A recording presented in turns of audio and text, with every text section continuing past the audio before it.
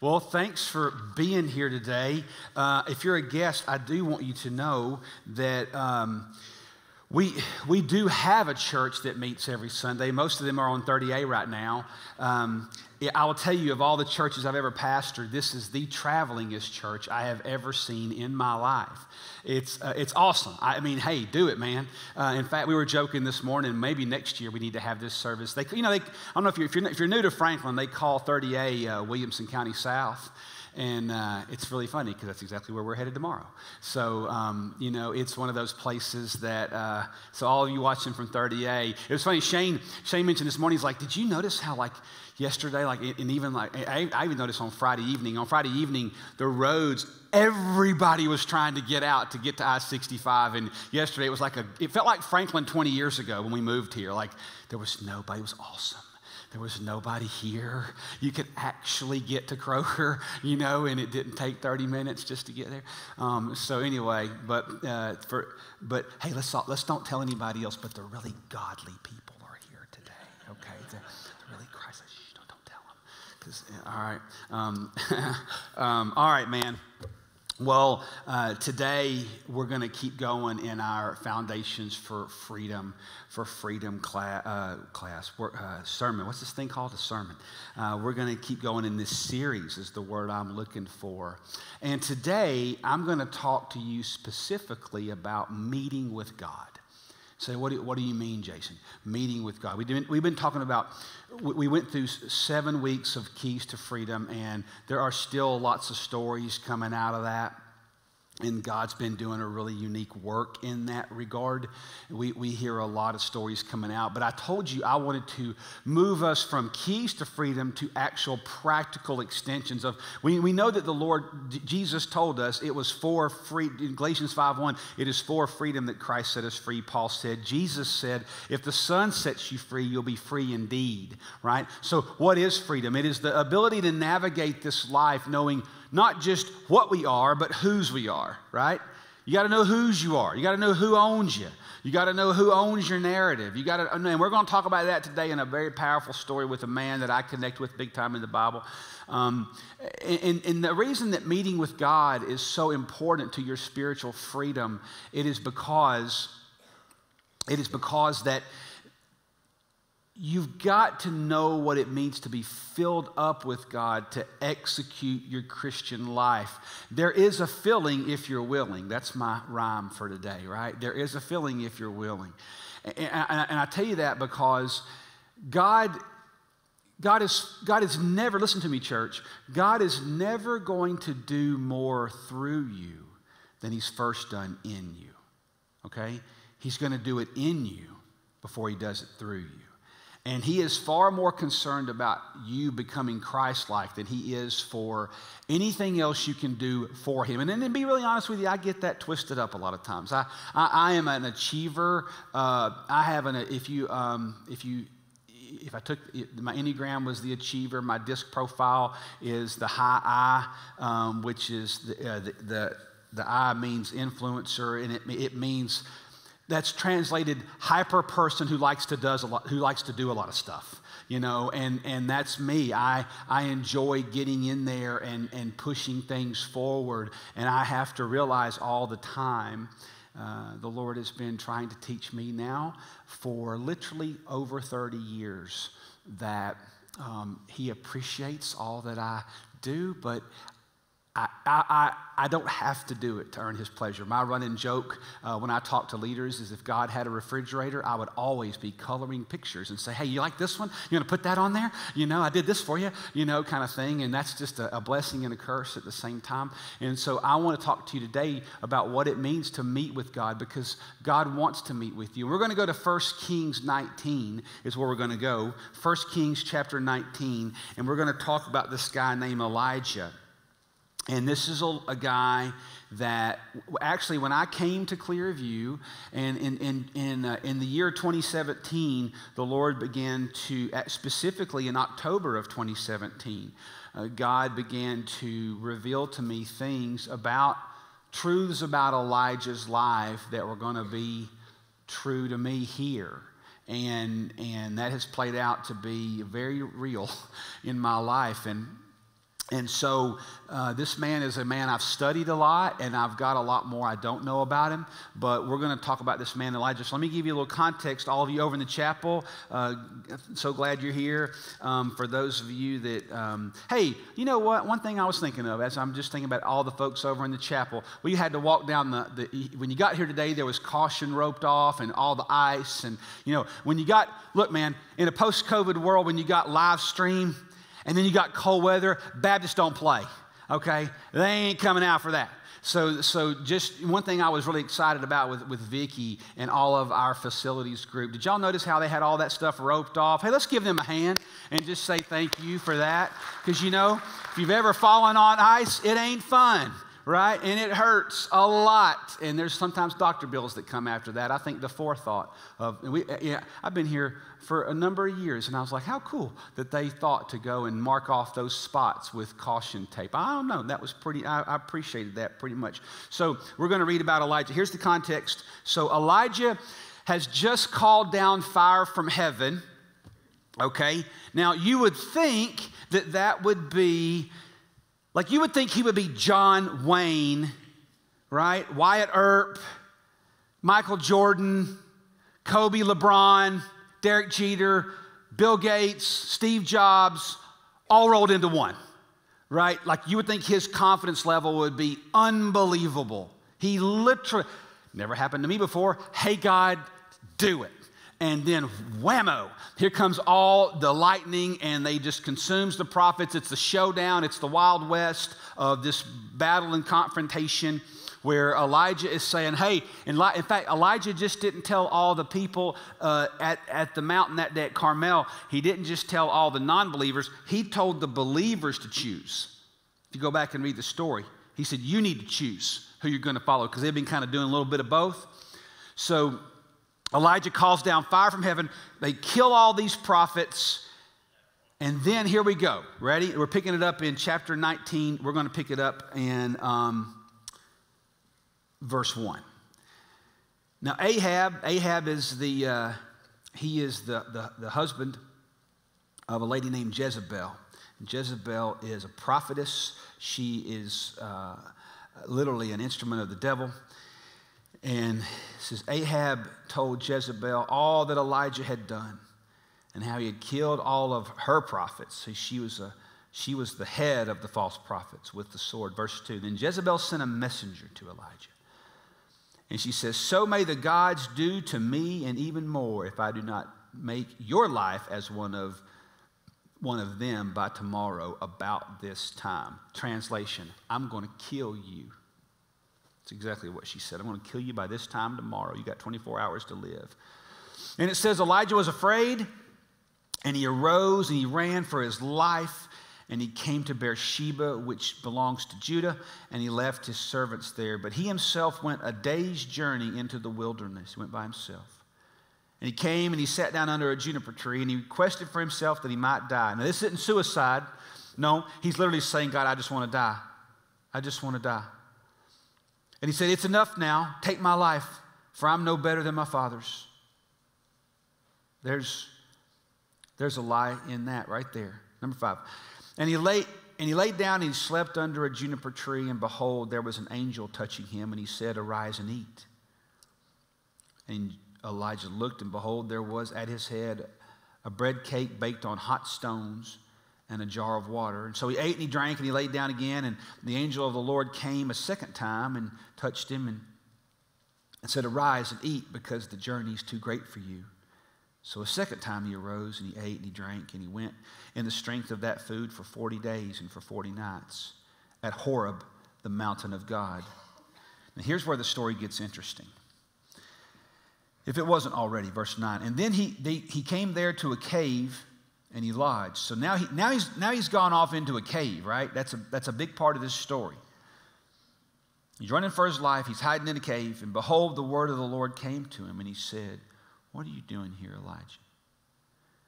And Elijah says, I've been, I've been very zealous for the Lord, the God of hosts, for the sons of Israel, have forsaken your covenant, torn down your altars, killed your prophets with the sword, and I alone am left and they seek to take my life and take it away. Here's the verse 11. This is a big part right here. Ready? So God said to Elijah, Go forth and stand on the mountain before the Lord.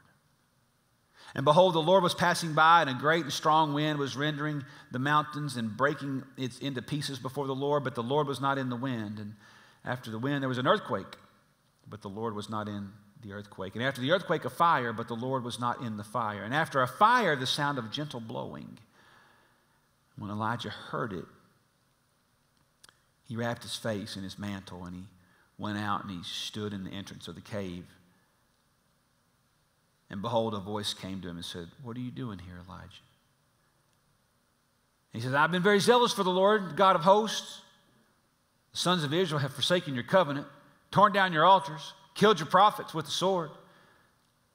And I alone am left, and they seek to take my life and take it away. And the Lord said to him, verse 15, Go return on your way to the wilderness of Damascus.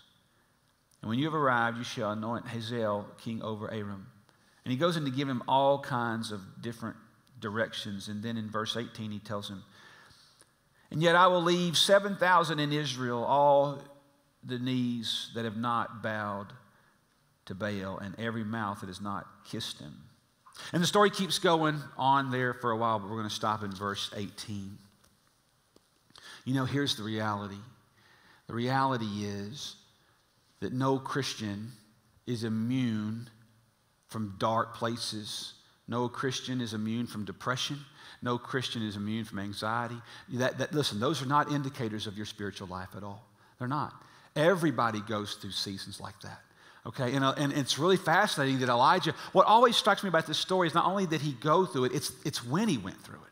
I mean, on the heels of this huge victory, it's really, it's really fascinating to me about how that happens. And so you have to learn how to, to, to be filled with God because there is a filling if you're willing, if you're willing to get it and you're willing to meet. And so the, the what reason I, I pointed this out is it's what, it's what God told him in verse 11. He said, Go stand on the mountain. Go stand on the mountain. That was a meeting place that was designed for him and Elijah. See, if you, if, you, if you do not have designated places that you meet with God, or a designated routine, and by routine, I don't mean seven o'clock every morning. My routine changes all the time. But if you do not have meeting places with God, then I'm going to tell you, you're going to suffer from it. You're going to suffer in your decision making life. This whole story is a story of an unraveling. I mean, things began to just tank. The Titanic began to happen in his mind, in his soul, all these things. And what did God say? Go stand before me. You're in a cave. You ever been in a cave?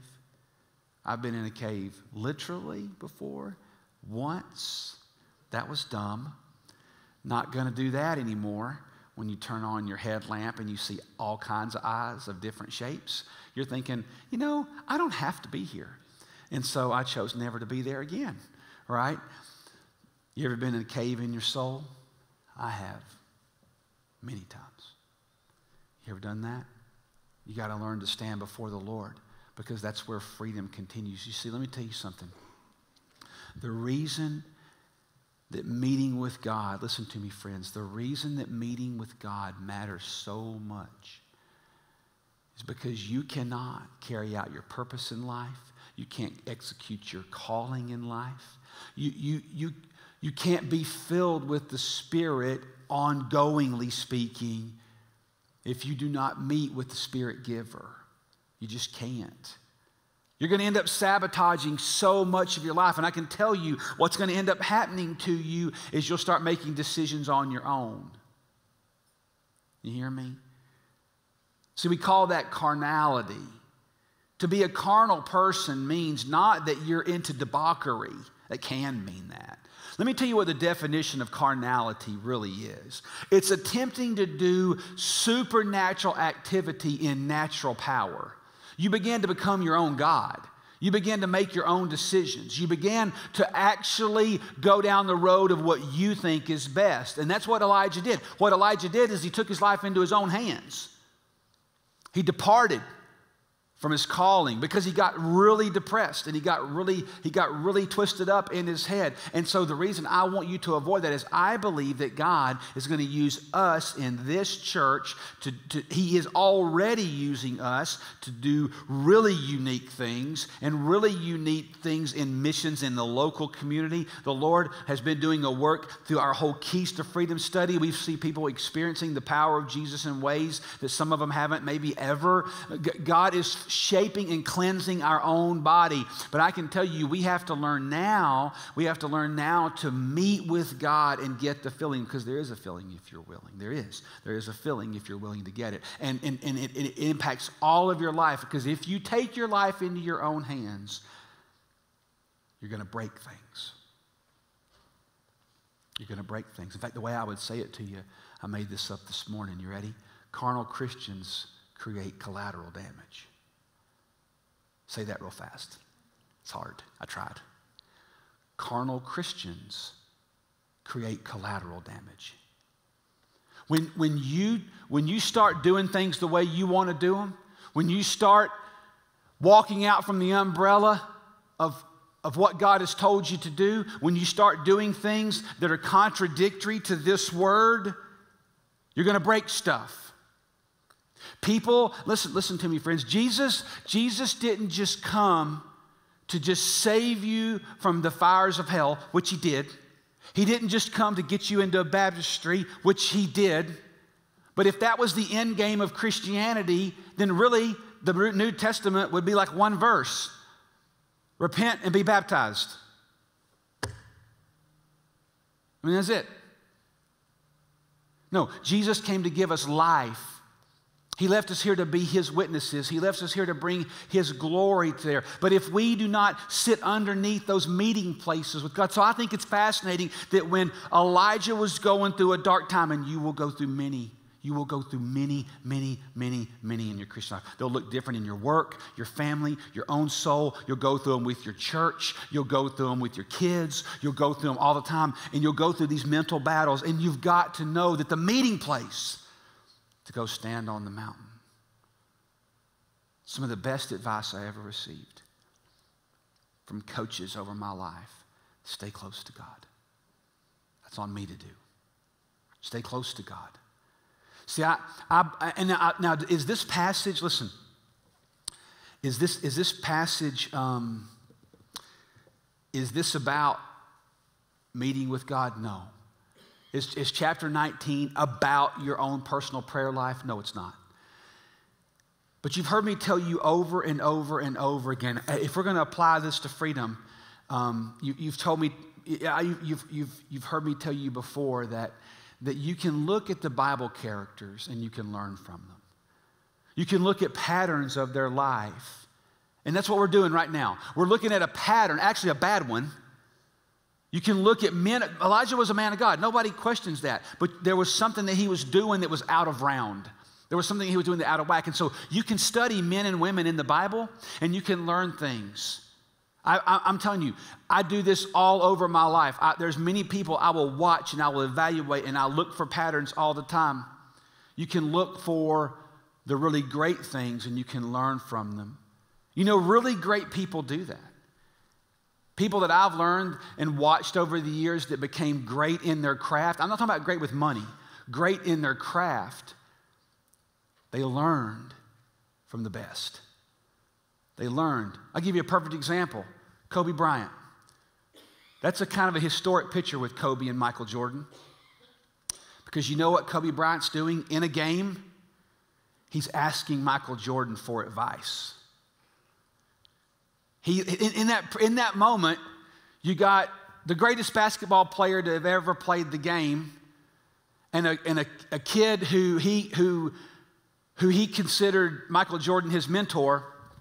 And he would call, he, he, somebody asked him if they were really close friends one time, and Kobe said, Well, he didn't. He said, Ah, he was more like a big brother. We fought sometimes. We were really close. He said, I, I called him all the time. I even heard Michael Jordan talk about how he would text him at like 2 in the morning, like technical questions. Like, it is 2 in the morning. Why are you doing this? But in that particular picture, he, he, was, he asked him, he said, How do you feel the defense? And in that particular moment, he told him, He said, Learn to feel the defense with your legs. And he's doing that in a game. He saw it, he was learning, he was learning patterns. And he said, I put that into my life. You saw in the business world. There's a man named Jim Collins. Jim Collins wrote a book called Good to Great. This is a picture of Collins right here. Um, that's Jim Collins. He's a PhD researcher at University of Southern California. And he wrote How the Mighty Fall, which is, oh, How the Mighty Fall is a great book. Um, Good to Great is one of the greatest marketplace books ever written. And in that book, what was interesting about what Collins did, I love, it's fascinating. And if you're not into that stuff, you don't have to read it, but I'll tell you what he did. He, he took, like, I'll give you a hypothetical example. He took, like, Kroger and Publix, and he said, okay, they both sell tissue paper, soap, meat, soda, dental floss. They sell the same stuff. Why is one company leaps and bounds above the other one? So, good to great is a comparison of marketplaces and companies that somehow just performed different. You know what he was looking for? Trends. He was looking for trends of greatness. Well, that's what we're doing this morning. We're looking at something this guy did and didn't do to learn about why the meeting place matters. So let's move into it. That's what we're doing. We're looking at why the meeting place matters. And the first key truth I would share with you is that God is a God of experienced truth. If you're going to lift something out of 1 Kings 19, lift that out. God is a God of experienced truth. And here's what I mean by that. Now, be very careful. I, don't, I didn't say he's just a God to be experienced. I don't want you to hear me say that um, we're elevating experience. You know, you got the Word of God, right? We're not elevating experience above that. That can get really whacked out, okay? I mean, seriously, we can, that can get really messed up.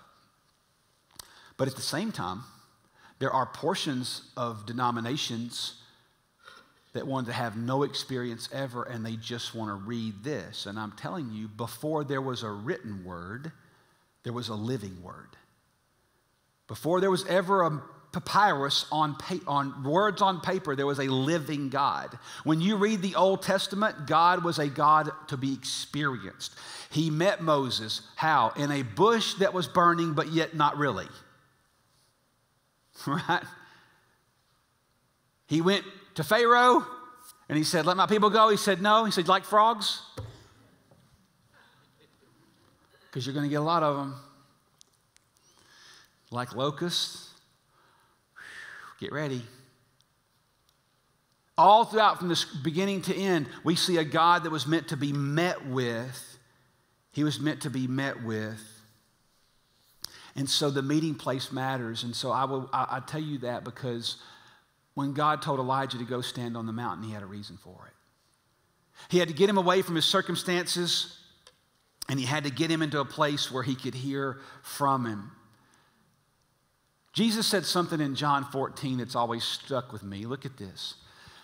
Jesus said about the Holy Spirit that He is the Holy Spirit who leads into all truth.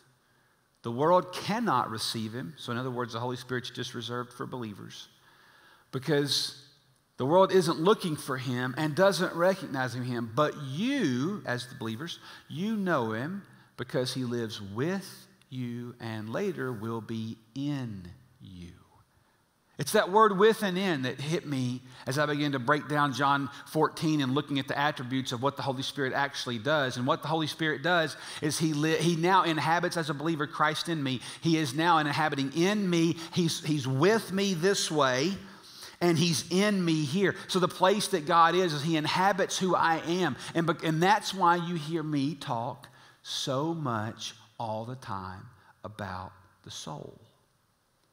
Because your soul, your mind, your heart, your will, your emotions, that's the meeting places. God dwells inside of you, Christ in you. So you have to learn how to, to, to, decipher his voice, and you have to learn how to recognize his voice. You have to, if you want to hear from God, friend, and you can hear from God, you can hear from God because you hear from God. But listen, where he meets with you, and, and I've went round and round with God to no success rate whatsoever about this, about many times about, you know, you made us in your image and you made us to be talking people. So I took that literal, so I talk a lot. And you made us to be talking people, but yet I don't get to hear you audibly. I don't appreciate that at all. To which he said nothing. That's a pretty good joke. For, for all, that was kind of Frasier humor. Remember Frasier? It's kind of Frasier humor. Um, yeah. But I had to learn that God deals with me how He wants to deal with me. And he, dealt, he deals with me the way He wants to do it. And the way He chose to do it is to give me a Holy Spirit to guide me and work in His Word. Now, the Word is the chief. That's the place. If you want to hear from God, you start right here. That's the number one way, right there. Boom. Okay? He never does anything outside His Word. But the Holy Spirit is with me and He's in me. And so, in those meeting places, those meeting places matter. And if you, why am I bringing all this up? If you want freedom in Christ, freedom is not a one time thing. It's not just Jesus delivered you from all your sins, Jesus keeps delivering you. He continually delivers you to grow in Christ likeness and to grow. So, how does he do that? He does it. You cannot, would you ever expect to have a good marriage and never speak? Like literally never speak. What about if you have kids? Would you consider it good parenting to physically never talk? You have to meet, right? You have to meet. And so we're going to talk about the meeting place for just a second and why it's, it's so mission critical to your perpetual freedom. The first truth I would say to you is that in your meeting place, God sheds light on your current situation. This is why it matters. God sheds light on your current situation. Say, what do you mean by that, Jason? Well, think about what happened in the cave with Elijah, right? God is the light, right? We agree with that? Jesus is the light. But in the cave, you got to create the light, right? See, notice, did you notice that God asked him there in those verses where, what are you doing here? And it wasn't, What are you doing here? It's, Why are you here? Why are you in a cave? You left everybody. You left your servants back there. You isolated yourself. What are you doing here? Because that's what we do, right? When things don't go well, we tend to live in our head. You ever live in your head? I've been up in there. It's not fun. Pull yourself back, get all up in your head. That's what he was doing. See, when, you're, when you pull back into the cave and you create your, that own cave experience, you got to create the light. No, we were meant to shine the light, not create it. Amen? We were meant to shine the light, not create it. So it, on the mountain, in the meeting, so we're just going to use mountain for metaf- metaphorically for the meeting place. On the mountain, you know what you get? You get revealed truth. You get, you get all of this light that God shows to your whole situation. And so on the mountain, you get the full picture. You get the full picture of all that God is doing. When you're in the cave, you know what you get? All you get is you. You just see yourself. You start listening to all the voices. Did you notice something about the cave experience? This is why the meeting place matters, y'all. In the meeting place, God sheds light on your current situation. Jesus said the Holy Spirit is with you. That's present tense and in you. He doesn't just fill you one time. As Baptists, we are genuinely, genuinely, historically fearful of the Holy Spirit because we're afraid that if we give ourselves into Him, it's going to become a circus. And it won't. Why would you be afraid of God? Jesus, Father, the Son, the Holy Spirit, three in one, one in three. Why would you be afraid of the power source? The devil taught you to do that. Did you hear me, church? The devil taught you to be afraid of the Holy Spirit. And so Baptists aren't just the only ones guilty of it. Mainline denominations forever, I think, have been, have been taught to be afraid of the Holy Spirit. And I just chose not to be a long time ago. And I found, in, in light of contradicting myself a minute ago. I have found that there were a whole lot more Baptist preachers that believed in it, and they were just afraid to talk about it because you tended to lose your job. I'm not joking. So I found that the Holy Spirit is with me and He's in me, and He gave me the ability to interpret real time situations. Real time situations. But you don't get that outside the meeting place. Because if you notice what happened in the meeting place, something unique happens here. I want you to look in verse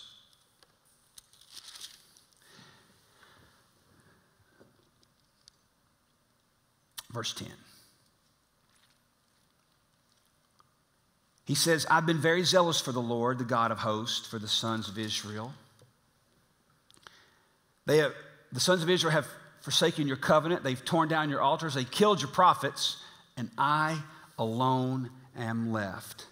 Okay? There's some lies that Elijah's believing right there. Okay?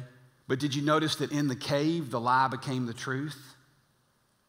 Did you notice that? See, in the cave, the lie becomes the truth because when you pull back into the cave, you, you have to create the light. And so, what it began to, here was the first lie. This was the first lie that he believed. It was when Jezebel came to him and said, I'm going to kill you. You know, in order for a lie to work, what has to happen? You have to believe it a little, right?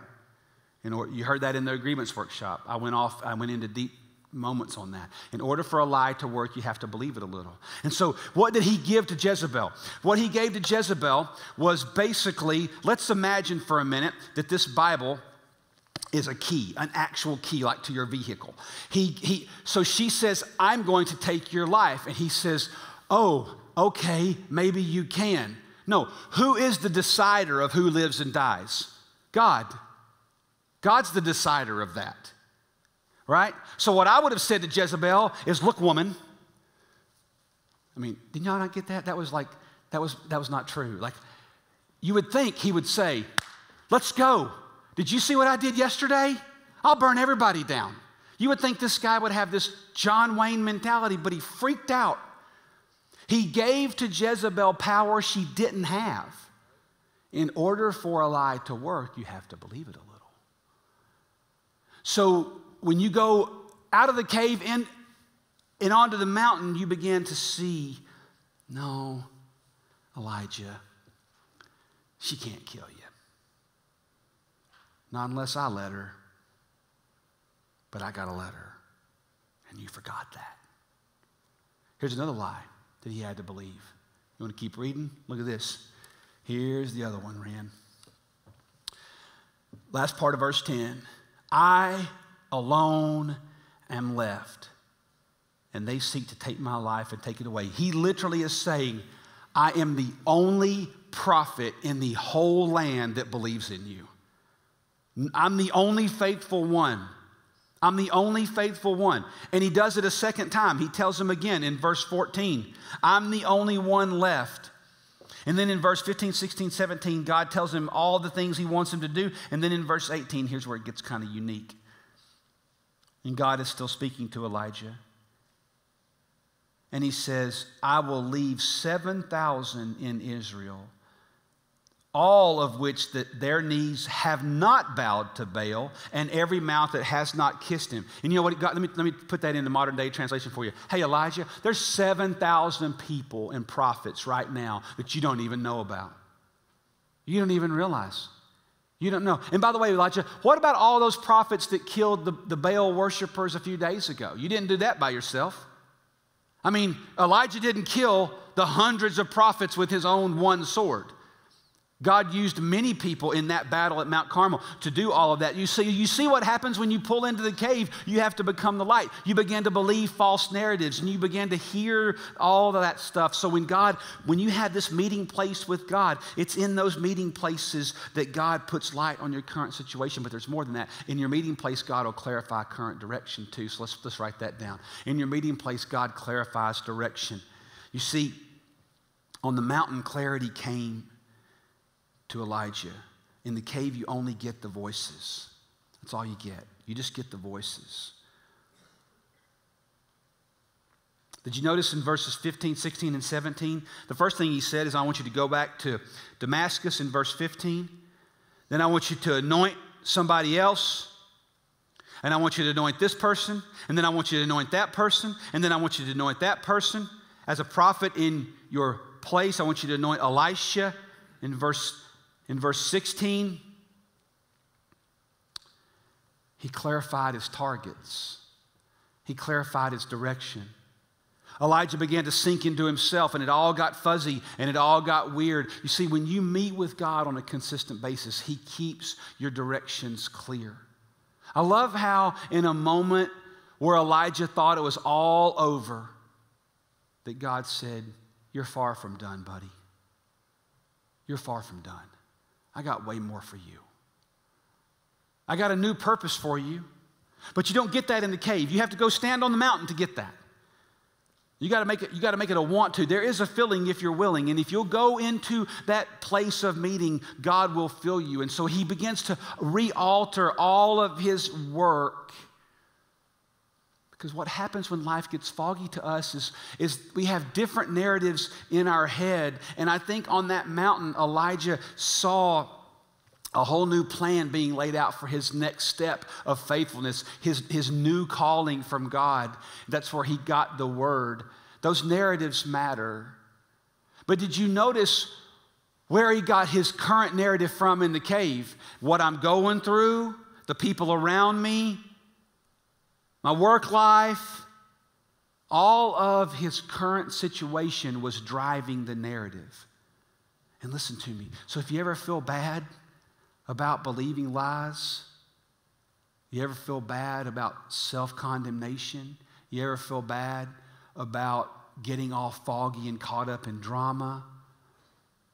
Don't feel too bad. It happened to Elijah.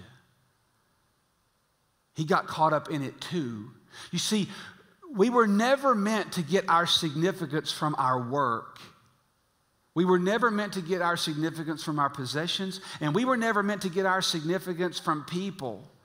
But those are the key areas a lot of times that drive how we feel and drive how we look at the world. And those current narratives really change how we look at ourselves. But when you go into the meeting place, those narratives become clear with the narrative.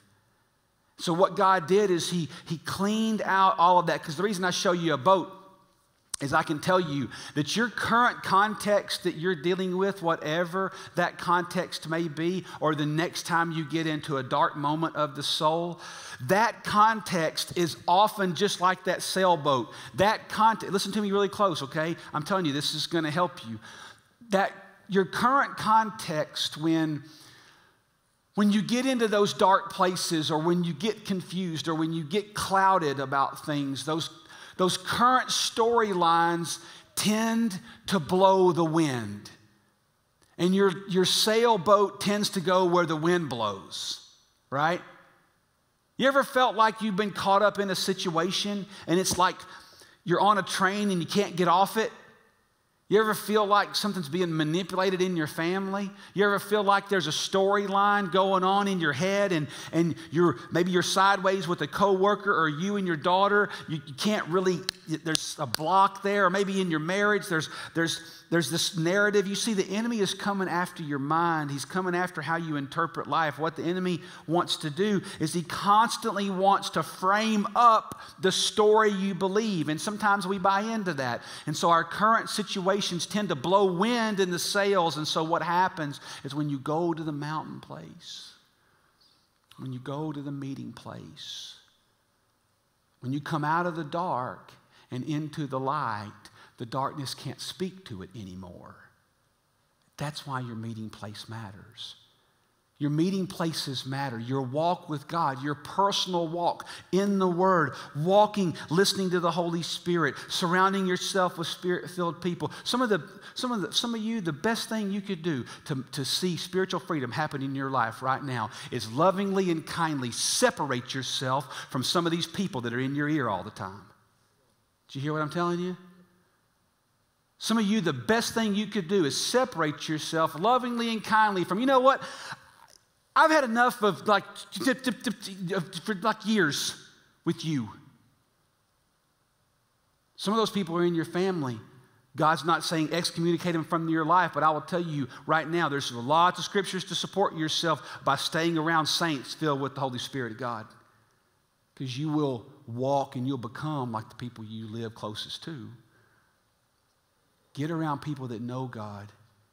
Get on that, that's a meeting place in and of itself. Listen, man, I got a whole host of people. I'm an only child. I'll make everybody my best friend. I got a whole host of people. When things don't go and I can't figure something out, I'm on the phone, buddy. I'm not kidding. I'll pay for it. I've done it. I will pay for counsel. I'll seek it out. Pastors, we do that with each other. You see, you got to have people that help you understand the narrative. And so, what, so what, what, uh, what God did is, is, in all of his love, he said, Elijah, get out of that place, man. You're, you, you're self sabotaging. You're getting into that dark spot. Get out of here where I can talk to you. And so Elijah did. See, your meeting place with God, that's the, it's the birthplace of freedom, man, practically speaking. I think our meeting places are those places where we re engage with God and He talks to us in a different way. You know, something I didn't plan on bringing this up, but, and I still haven't figured this out yet. I, but I don't know if you caught this in reading the story of Elijah. But did you happen to notice that in the earthquake, God wasn't in that? And in the fire, God wasn't in that. But the Bible says right there in verse 13 that when Elijah heard the blowing of the wind, he hid his face. He hadn't seen God yet, but he knew. I think that's interesting. There was something inside of him in that moment that he knew God was about to speak. It said when he heard the gentle blowing, he hid his face. He didn't hide his face in the earthquake. He didn't hide his face, face in, in all the blowing up. And the, they, there's a big word for that called theophany. It means a spiritual storm and hurricane. None of that shook Elijah, but when, when he heard the gentle blowing, he hid his face. But none of that happened until he was on the mountain. You see, you, you get out on the mountain and things happen. And so I would say to you that there is a filling if you're willing. Jesus made us a promise in Matthew Come to me, all you who are weary. Come to me, and all you who are weary, and I will give you rest. Come to Christ, and I'll speak to your current situation. You know, you often don't think about sharing something with somebody like a tweet or an email or sending them a sermon or sending them a podcast. You don't often think of that as missions, but it is. It's not that you have to send it to the whole world or post every single thing we do at ClearView on your feed. But if, if you've heard a sermon or if you've listened to a podcast, think through your life. I mean, God, who needs to hear this? Sometimes it, it, it doesn't need to go on your Facebook page. Sometimes it needs to go on your Twitter, but sometimes just a simple text to one person can make all the difference in the world. Is sending them the Word of God in real time. Share it. You'd be surprised how far it goes.